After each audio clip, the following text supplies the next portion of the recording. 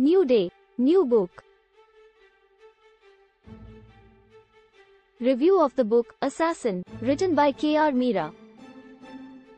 Assassin, by K.R. Meera, is a gripping historical fiction novel set in Kerala, India, during the late 19th and early 20th century. The book follows the life of Chetna, the granddaughter of the last professional executioner or Aarachar of the family, who is forced to carry on the family tradition of being an assassin.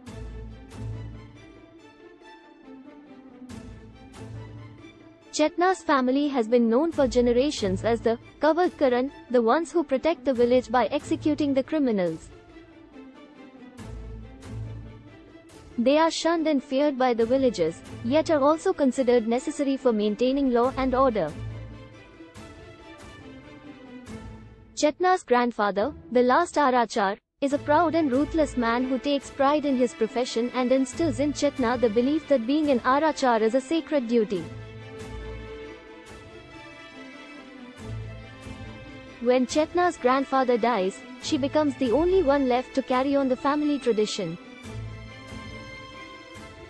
Despite her reluctance and fear, she is forced to take on the mantle of the Aarachar, as her family's livelihood depends on it. She begins to learn the skills of the trade from her aunt, who is the wife of a former Aarachar, and gradually comes to accept her fate as an assassin.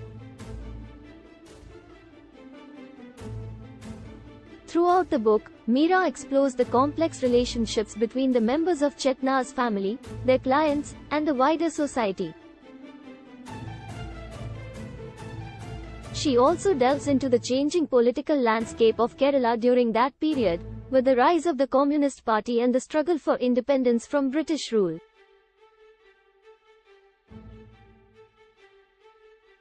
As Chetna becomes more deeply involved in her work, she begins to question the morality of her profession and the social norms that justify it. She is confronted with the harsh reality of the lives of the criminals she is tasked with executing and the injustices they have suffered.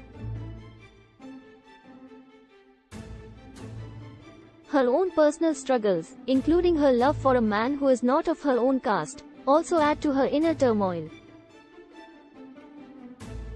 The novel builds towards a dramatic and emotional climax, as Chetna is forced to make a choice that will have profound consequences for her and her family. Through her journey, the reader is drawn into a world of power, politics, gender, sexuality, and social hierarchies, and is challenged to question their own beliefs and assumptions.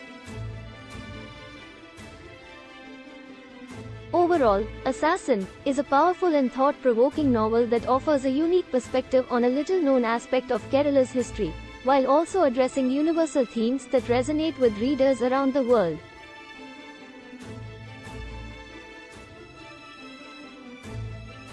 The end of review.